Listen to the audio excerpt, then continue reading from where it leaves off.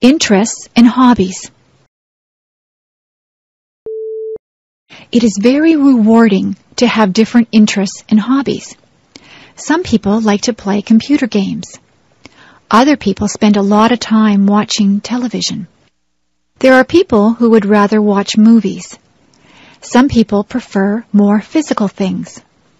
They would rather play a sport, like baseball, hockey, or basketball. Some people do exercises at a gym, or they just go for walks. There are many ways to exercise. They can ride a bicycle or lift weights.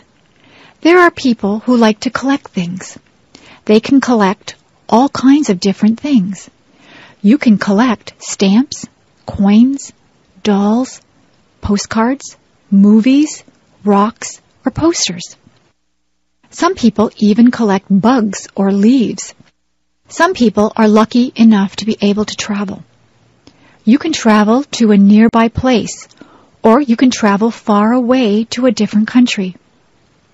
There are people who like to listen to music. People have different tastes in music. Some people like rock music, rap, classical music, or folk music. There are many different types of music. Some people would rather play music than listen to it. You can play an instrument or you can sing. Many people learn to play the guitar or the piano. Some people join bands or orchestras. There are people who like to read books. There are a lot of different hobbies. It depends on what you consider to be fun. You can have more than one hobby or interest. It is good to be interested in a lot of different things.